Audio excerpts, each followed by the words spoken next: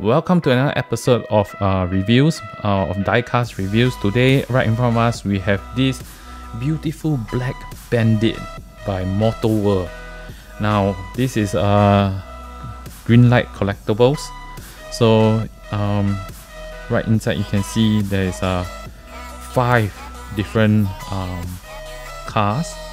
Uh, we have three T1 panels inside and two Volkswagen.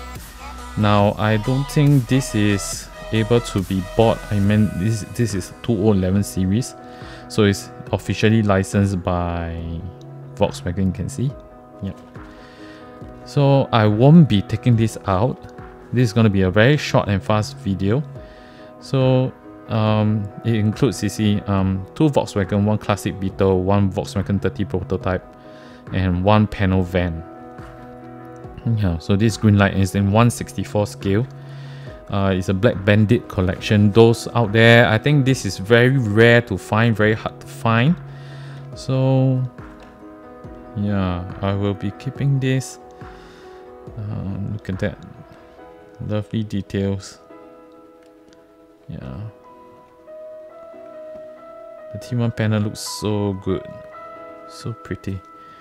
So, um, uh, bought this from uh, uh, from where again? I believe it. I bought this from Korei, Singapore. Um, yeah, and they are uh, just to introduce them a bit. Um, they are also collectors selling their selling different uh, collections, so you guys can go there and check it out. Um, yeah, it's a it's a very nice store. It is at Golden Mile, level four. Um, don't worry, you don't if you go there, you know, you don't worry that you're going for KTV, don't answer to your wife or whoever they're going for any laps at KTV, but you're going there to buy cars. Now that does not mean it gives you a reason to lie to your family members. But car collectors, please go visit them there. So see you next time. Bye bye.